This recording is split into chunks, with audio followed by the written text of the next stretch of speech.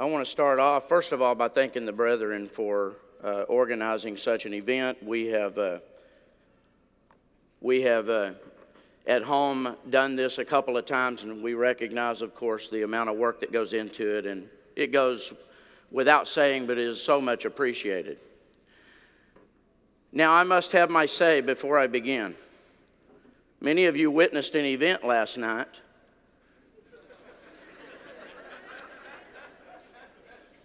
Brother Tim Hutchinson said it will be a night that you will remember forever. It'll be a night you may not ever be able to witness again. And it was, especially for me.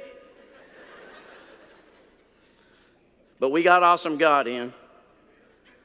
I have a grandson, five years old, Cash, who told his mom last night was so worried about me, thought I was hauled away in handcuffs. yeah, it was, would have been a new experience too.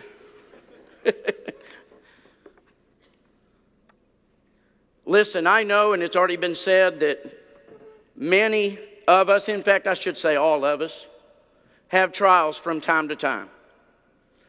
Again, there are some in this audience, no doubt, that are going through things in their life that's troubling, that might even tempt to lead them to despair.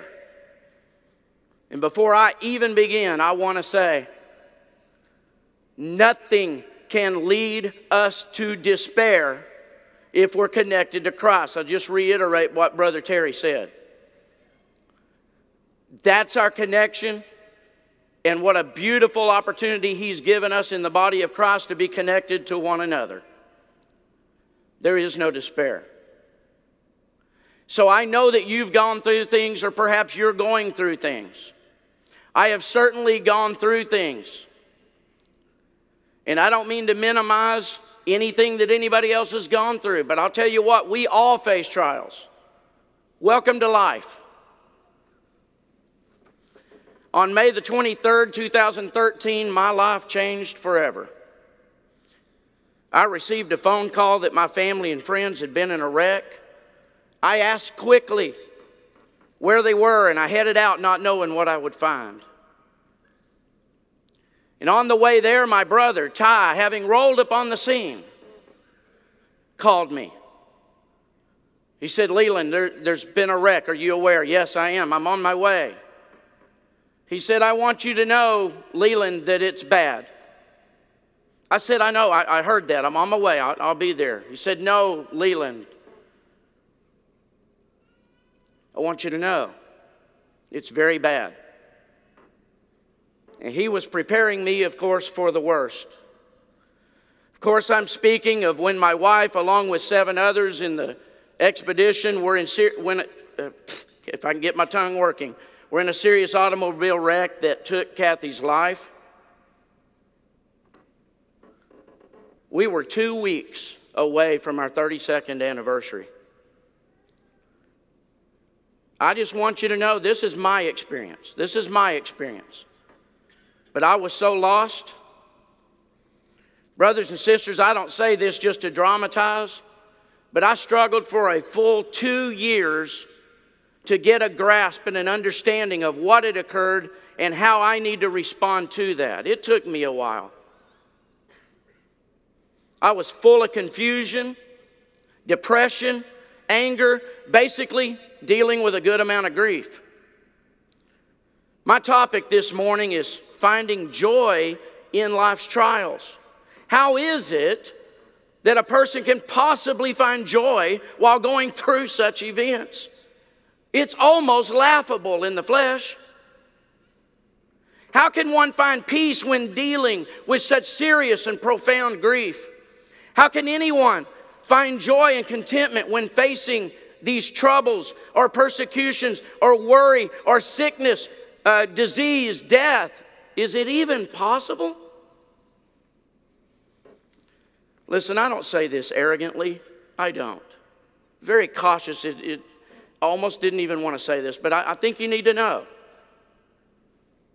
that there I was, an elder of a congregation, loving life, helping others when I could. It even counseled others how to deal with their own troubles and trials, marriage issues, emotional problems, depression, grief, and yes, the death of loved ones. And yet, here I was forced to deal with some of the very same issues that I had been working with them on, I had to work on. How could God allow this? Where was God when this event happened in my life? What was I going to do? How was I going to handle things still having four kids at home? Oh, and Janessa. Y'all know Janessa, right? Four years old. Would likely barely, if at all, remember her mother in the years to come. But I want you to know I was under fire. Not from external conditions, really, not even from the events, but internally, emotionally, spiritually. Not to mention the fact that my kids were all struggling. To start with, three of my children witnessed firsthand the death of their mother. They saw things and images with their own eyes that they will never be able to erase from their mind. I didn't have time to worry about my selfish concerns. How do I help them? And yet I struggled daily to understand. And my dear friends who were in the wreck also and were affected by this. What about them? So many concerns. 1 Thessalonians 5 and verse 16, Paul writes this Rejoice always Pray without ceasing. In everything, give thanks, for this is the will of God in Christ Jesus for you. Did you get that last line? God's will for our lives is to rejoice, to pray, to give thanks in all circumstances. In everything? You've got to be kidding me. How was I supposed to rejoice during this time of my life? How? It wasn't like I woke up the next morning and, and uh, proclaimed, Praise God, I'm so happy. I'm so blessed. I'm so very thankful you brought about this event in my life so that I can be more like you, Lord. I didn't feel that way. How could I possibly give thanks when things like this occurred? Paul, speaking of his trials, expressed it like this in 2 Corinthians 6 and verse 10 as sorrowful, yet always rejoicing, as poor, yet making many rich, as having nothing, and yet possessing all things. Paul said that even in the sorrowful times, he chose to always rejoice. How could he do that? And how could I learn to do that? 1 Peter 1, verses 6 and 9, Peter says this In this you greatly rejoice, though now for a little while, if need be, you have been grieved by various trials, that the genuineness of your faith, being much more precious than gold that perishes, though it is tested by fire, may be found to praise, honor, and glory at the revelation of Jesus Christ, whom having not seen you love though now you do not see him, yet believing, you rejoice with joy inexpressible and full of glory, receiving the end of your faith, the salvation of your souls. How could Peter suggest that we should greatly rejoice when going through these various trials? Clearly, he didn't know what I was going through. Peter said, In this greatly rejoice. You greatly rejoice. Well, in what? Back up. Back up three verses. And let's read what he was talking about. Beginning in verse 3, this is the context that he was talking about. Blessed be the God and Father of our Lord Jesus Christ, who according to his abundant mercy, has begotten us again to a living hope through the resurrection of Jesus Christ from the dead, to an inheritance incorruptible and undefiled, and that does not fade away, reserved in heaven for you who are kept by the power of God through faith for salvation, ready to be revealed in the last time. You see, Peter is talking about an eternal perspective here. It's about how we view life. It's not losing sight of what God has done for you at the cross. And when we are fully engaged as a Christian with love and compassion for our fellow man, when we realize fully what God has done for us and how He has blessed us. And when we have a perspective that cares more about our salvation and the salvation of others, we don't lose heart when tragedy in our lives happen. We learn to rejoice. We rejoice that we've been saved. We rejoice for those who have gone on. We rejoice that they have won the race. And we rejoice that the battle is over and they get to go home we rejoice. 1 Corinthians 15 and verse 19, short verse, poignant passage. If in this life only we have hope in Christ, we are of all men most miserable. Our hope, brothers and sisters, is not in this physical life. It's not here. Too many of us, too many times, are living for this life. We're living for things. We're living for experiences. We're living for the things that'll make us happy in this life. And we're missing the mark. We're missing the mark. Our walk as a Christian should be such that we have a spiritual perspective always. Does that mean we're not allowed to be happy in life? Of course not. And that's not what I'm talking about. But when we're living and pursuing, and that's our life's dreams, is all of the things contained in this world, we've missed the mark. We will never find true joy in life's trials if we don't have a spiritual outlook. If we don't view it through spiritual eyes, if we do not see it how God views it and have an understanding of the eternal perspective, oh, we're we can't have joy, can we?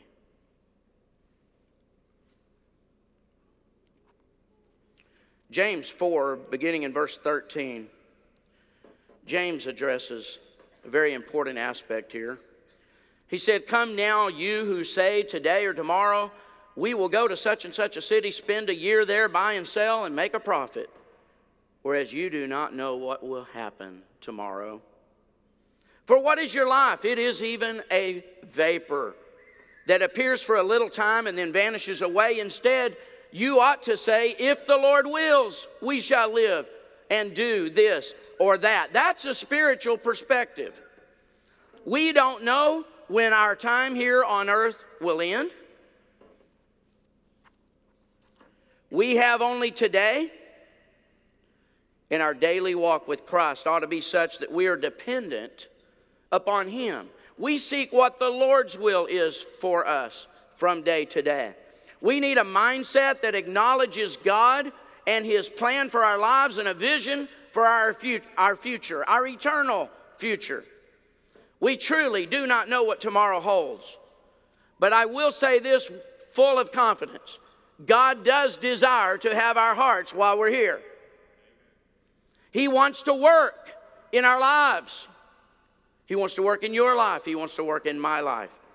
Hebrews 13, beginning in verse 20, says, Now may the God of peace, who brought up our Lord Jesus from the dead, that great shepherd of the sheep, through the blood of the everlasting covenant, make you complete in every good work to do His will, working in you what is well pleasing in His sight through Jesus Christ, to whom be glory forever and ever. Amen. I want you to notice something about this, and there's a lot we could talk about here, but the writer equates God's working in your life to the same power that raised Jesus from the grave. Have you ever picked up on that? The same power that He wants to supply you in your life and in your Christian walk is equated to be the same power that raised Jesus from the dead. Was that powerful? Was it? You bet it was. I'll take that power. Won't you? You don't think He can help you? I'm standing here today as a testament to the fact that He not only can, He will if you allow Him to. He has the power to do exactly what He said He will do, and He will be the source of it in you. The problem we run into often is that we don't fully want to submit to Him. We want to fight this life on our own, and we're not sure how to really connect with that power. But as Christians, we must understand that our life is not our own. We're bought with a price the price of blood, a life given for us upon the cross of Calvary. And I appreciate Brother Terry uh, expressing that point in his presentation because that's what it all boils, boils down to. He has a plan for our lives, but I want to tell you, brothers and sisters, it might not be what you think it is or should be. Here's a revelation moment. His plan for you is not really about you. It's not about you. When we find ourselves going through various things in life, we find ourselves saying, Why me? How could you let this happen to me? When in reality, it's not about me, it's not about you. God has a plan, and His plan has been since the beginning of time to save you it's been since the beginning of time to preserve your soul. And it's been since the beginning of time to make you like His Son, Jesus Christ, and to reveal His light of Christ in you to a lost and dying world. Romans 8 and verse 29 says this For whom He foreknew, He also predestined to be conformed to the image of his son, that he might be the firstborn among many brethren. You see, we are to be conformed to his image. And you're looking at me up here on stage and you're saying, Woo, boy, does he have a long way to go. And I do. But that's the objective. That's God's plan for our lives is to be Christ to a world. And in that is to be conformed to his image. We begin talking and acting and saying and seeing and doing, and everything about us becomes like Jesus would do. I know it's cliche ish. We've heard it for many years. What would Jesus do? But it's so true. We are to be conformed to it. Now, we fail Him. We stumble, and we certainly don't always do what we should do, and don't always show that light, do we? But I want you to know and never forget that's the objective. This is what we're practicing. This is what we're, we are striving to accomplish in our lives, in our, in our Christian maturity and development, is to become more and more like our Master. Why? So others are drawn to Him. You know, we preach the gospel and we, we, we fund hopefully, we fund evangelistic efforts to reach the lost, right? But there's ministry opportunities in your own backyard, so to speak. We have them all around us, and it is by how we conduct our lives. And it is about letting the light of Christ be seen in our lives. It's an eternal perspective. Jesus promised that He is coming back someday to take us home. Did you know that? Surely you know that. That's a promise. He promised the day will come when there's no more pain, there's no more sorrow, no more suffering, no more trials, despair, grief. He has promised He would wipe away our very last tear. It's an eternal perspective, and you should find great joy in your salvation. You should find great joy in what He has done for you. But sometimes things happen that are not happy occasions, isn't there? What then? I'll confess to you, as insignificant as it may be to you, because you've got your own set of issues, I'm sure. But I experienced during this event a real sense of gloom, a real sense of weariness and worry, a loss of motivation, a loss of zeal and enthusiasm in my life. I let the joy be sucked right out of me. It took me a while to get a grasp and an understanding of it. Did I enjoy being sad? Did I enjoy these feelings and emotions of grief? Did I bask in the pleasure of trials? Of course not. James 1, beginning in verse 2, says this My brethren, count it all joy when you fall into various trials. Now, I think we can safely assume having various trials will definitely not lead us to happiness, right? I don't look forward to trials, do you? We know that's not going to bring happiness. But the reason he says to count it all joy is in the following two verses. Knowing that the testing of your faith produces patience. But let patience have its perfect work, that you may be perfect and complete, lacking nothing. You see, it's what the trials produce it's what the trials produce that we can rejoice in because we know it is God working in our lives to become more like the Master. It's an eternal perspective. Romans 5, beginning in verse 3. And not only that, but we also glory in tribulations. Here it is again. What is wrong with these apostles who keep saying this? Knowing that tribulation produces perseverance and perseverance, character, and character, hope. Paul encourages believers to rejoice when they encounter hardships. Why? Because God is carrying out His plans and His purposes in them to bring them to a complete and mature stat, uh, status, if you will, in their Christian walk.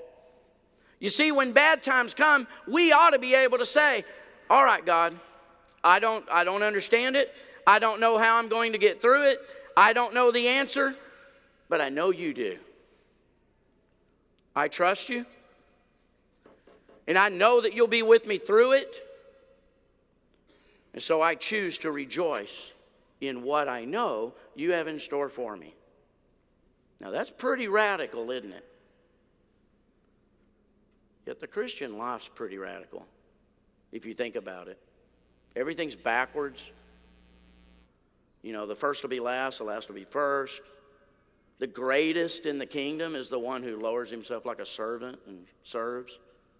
That's our Christianity. And this is no different. Even in sorrow, we're to rejoice.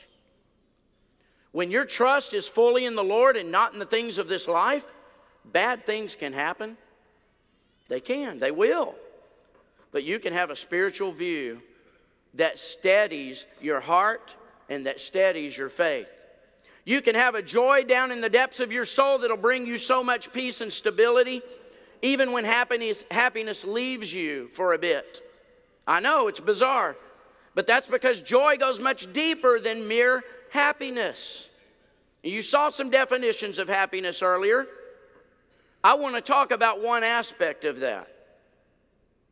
What happens when happiness leaves us for a time. You know, we're not always happy, are we? Now, I meet some people and I just wonder, they must be happy all the time because they just show, there's no way. Because sad things happen.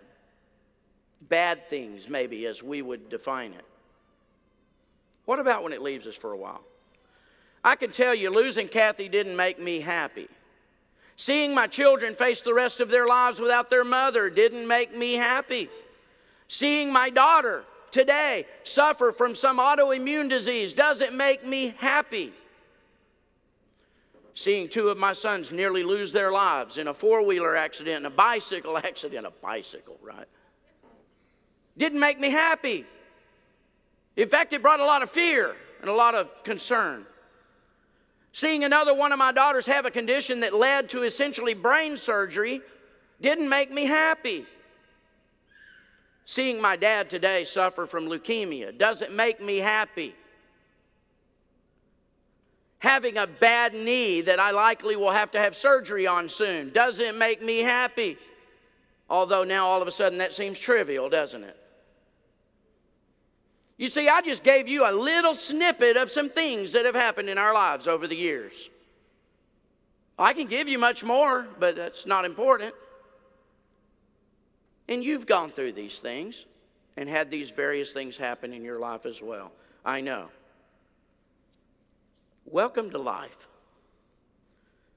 But can I still have joy? And I propose to you that I can. Allow me to suggest a different approach in our thinking. Whether happy or sad, you can face what life throws at you with stability and consistent joy. And here's why, and this is so simple happiness is not happiness when you're sad, right? You can't have happiness and sadness at the same time. Those are two completely opposite emotions. You're not happy, you're sad. But I want to tell you, brothers and sisters, true joy is still joy when you're sad. Of course, it's joy when you're happy, but a true joy given by God above penetrating your heart to the level that you're connected, as Brother Terry said, and that we have a relationship with one another and we understand the eternal perspective, joy is still there.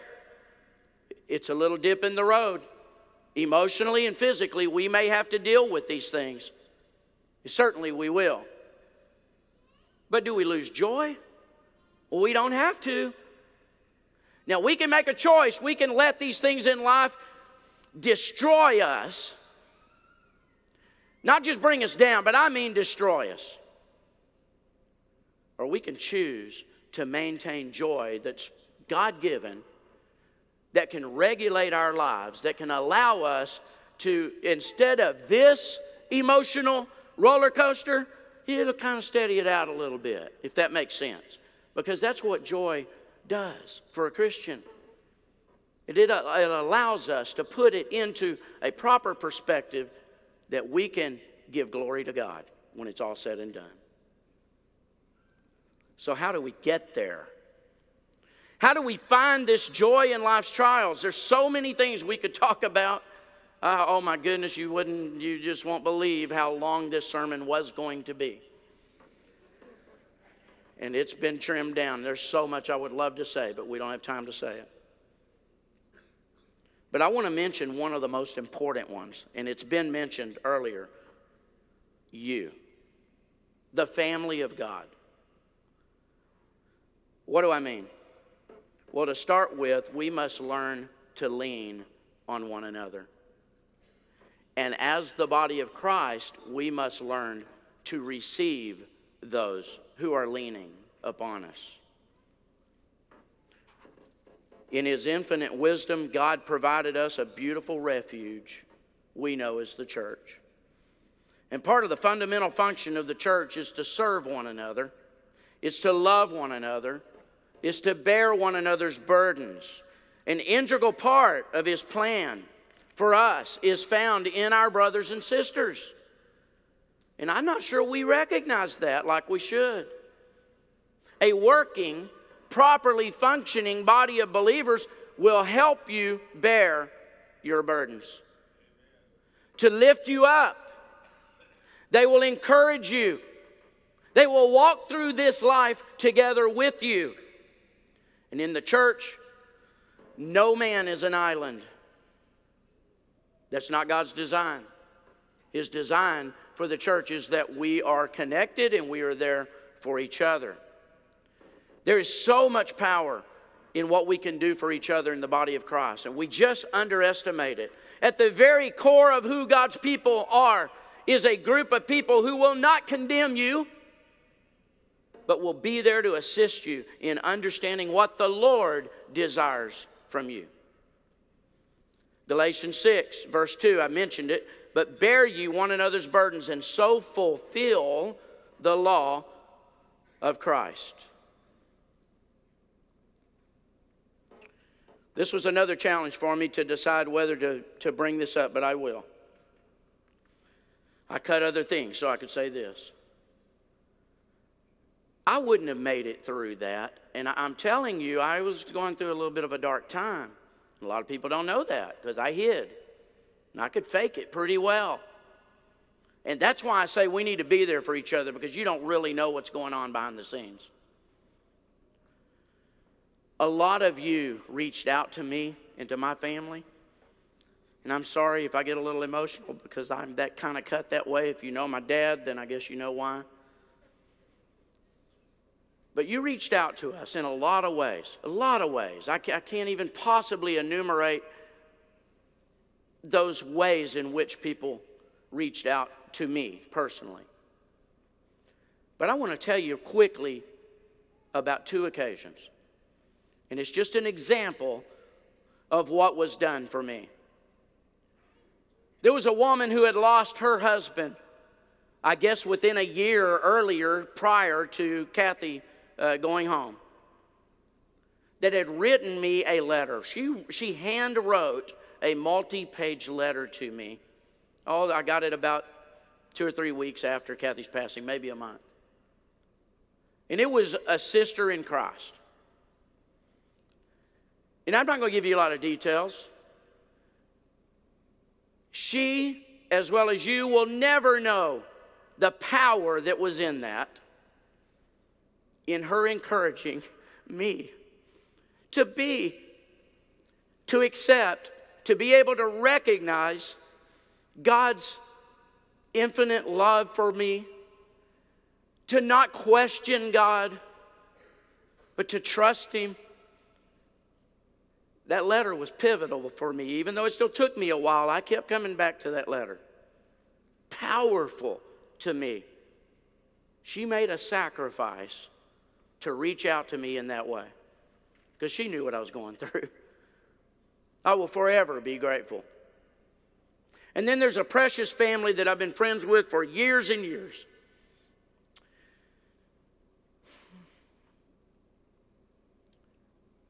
about six months went by, and I received a note, a card with a CD. And in that note from the couple, they said, We've really struggled with how to reach out to you or to say anything, and I know I've not said anything yet. It's been six months, right? But I just never could really find the words, and nothing felt right to say to you until I heard this song. Now, y'all know I'm a sucker for songs. But when I heard this song, and this song is called, I believe the title was Someone is Praying for You. She said, When I heard that song, I thought of you. And that's simply what I wanted to tell you is that we're praying for you. And I love the song. I thank them so much for the song that they sent me because it blessed my heart. But the, that, that doesn't seem very significant, does it? Those are really small things in the big scheme. You'll never know how powerful little actions, little deeds for somebody who's going through any kind of trial, how powerful those things are to them from their brothers and sisters in Christ. It's cliche ish again. I'm going to give you another one. But I truly do not know how people without faith or a church family make it through such events where they don't have people to lean on. And I've seen them, I know them, and you do too. I don't know about you. Can't speak for you, but I'll speak for me. Brothers and sisters, I'm weak. What I discovered in that two year period of time was how weak I was. Unbelievable. I wasn't supposed to be weak.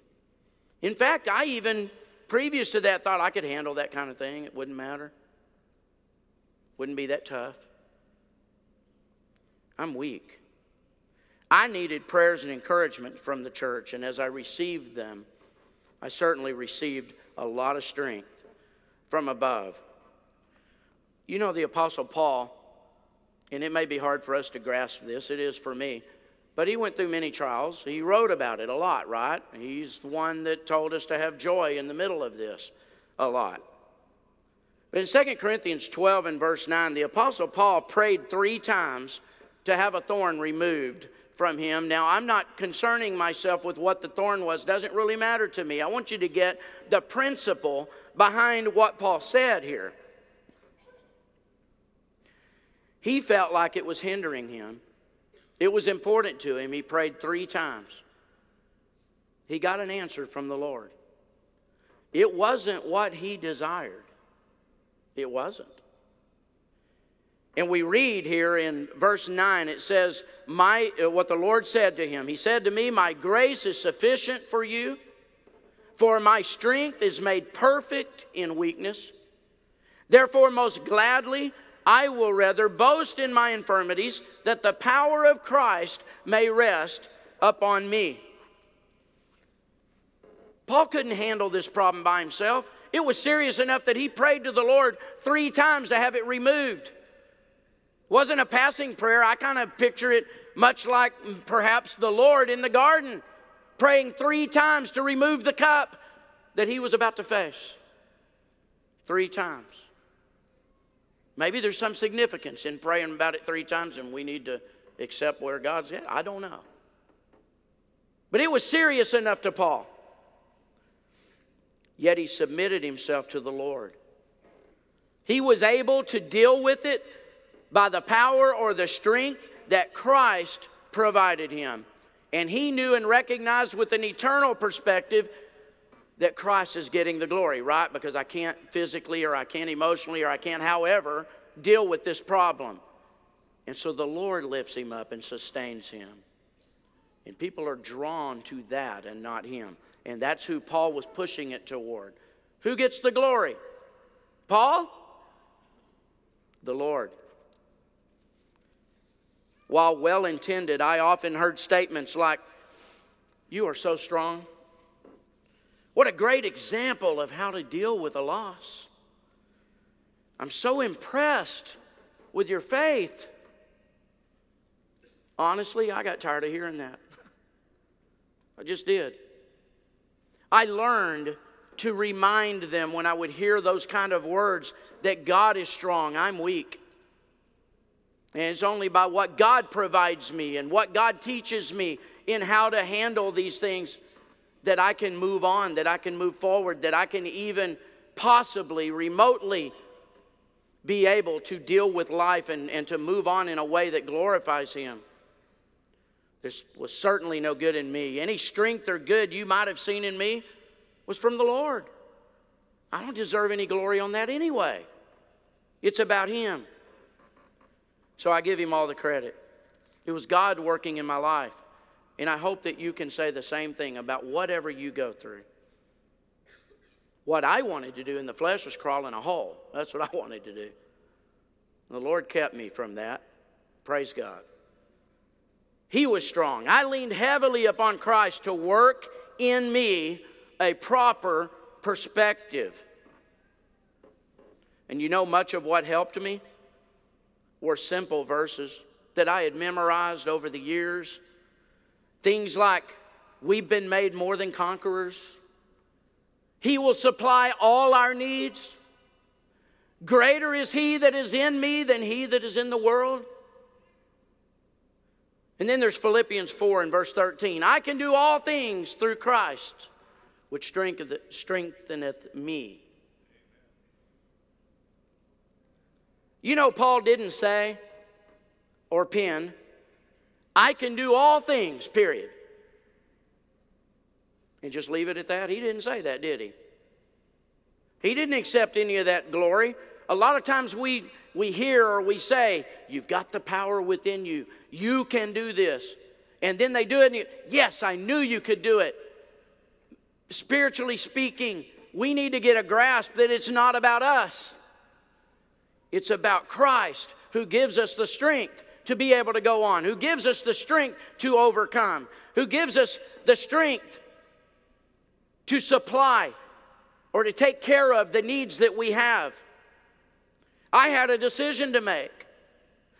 I had to decide if I was going to believe these verses or not. And if not, what am I doing here? What am I doing pretending to be a Christian? I either have a faith in God that He's going to do exactly what He said He's going to do,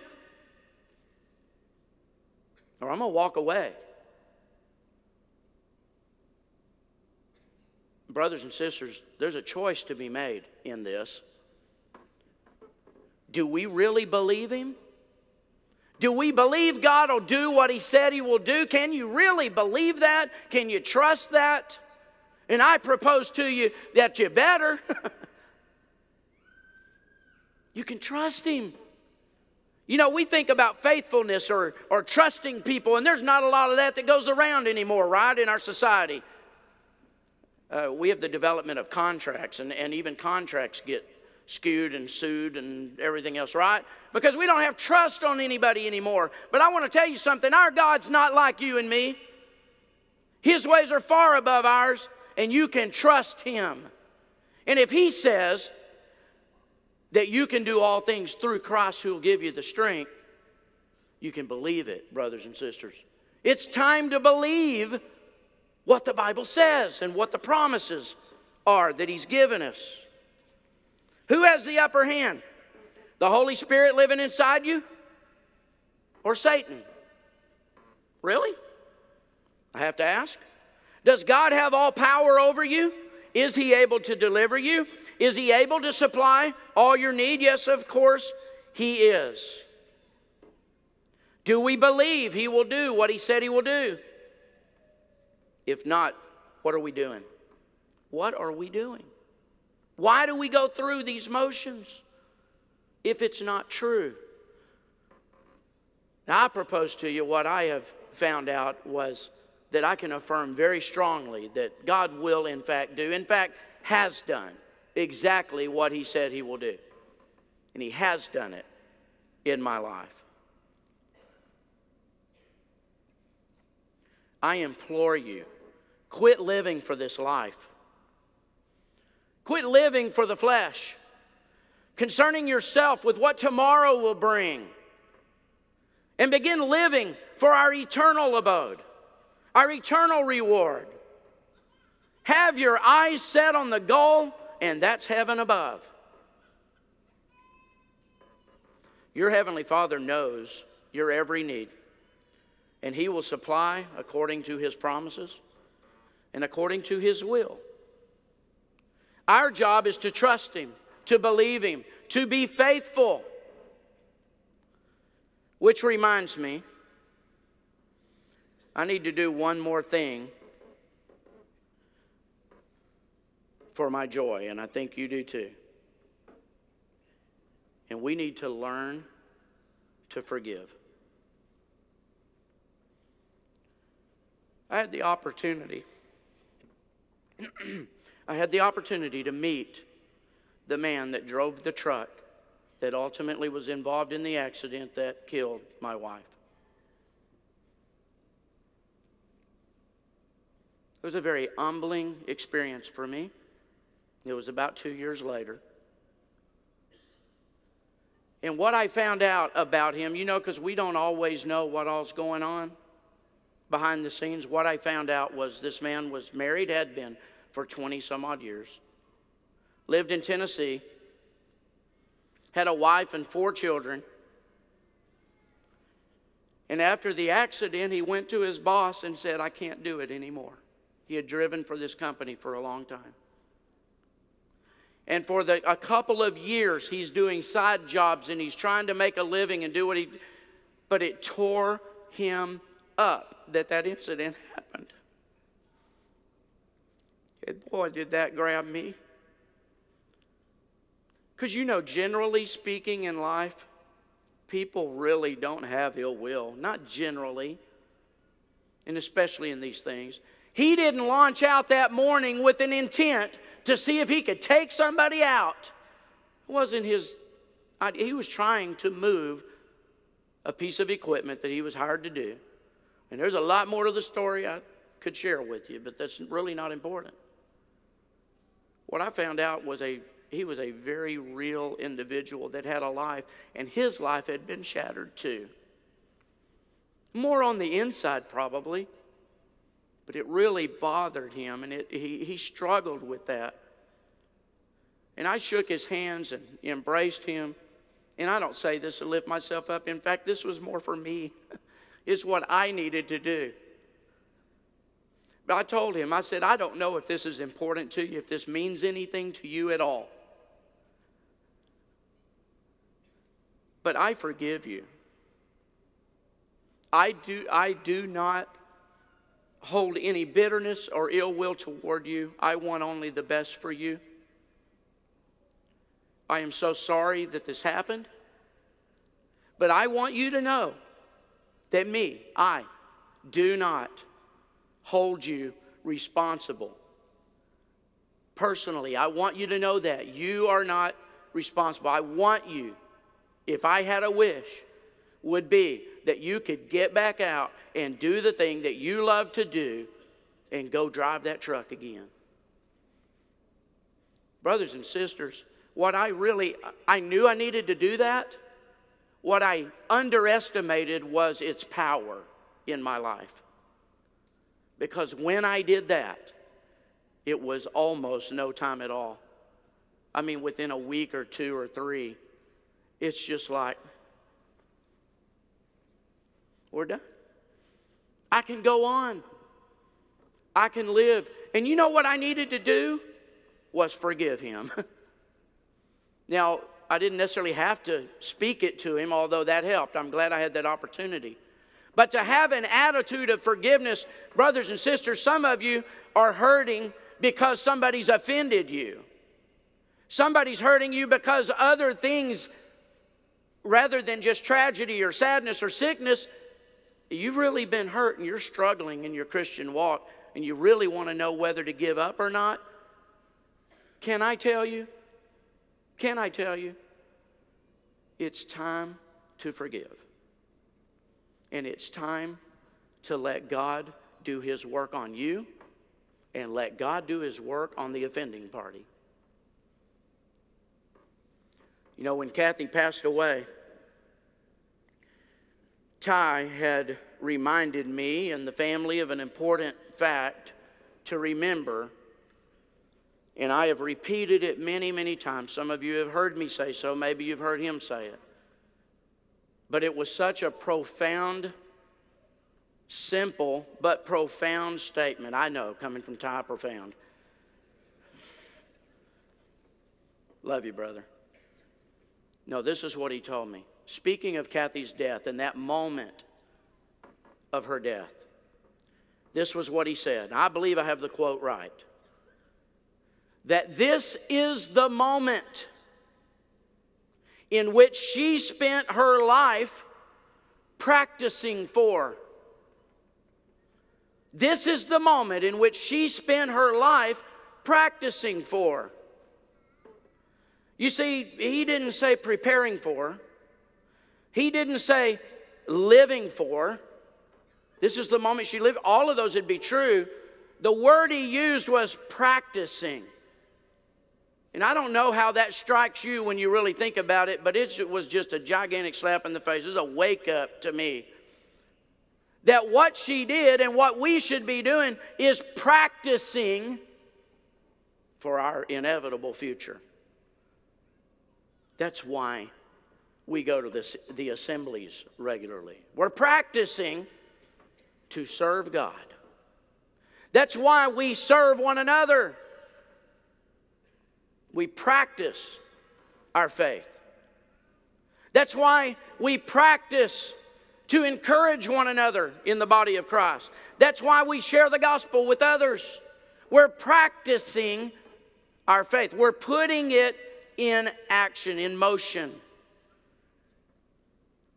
Brothers and sisters, practice what you believe.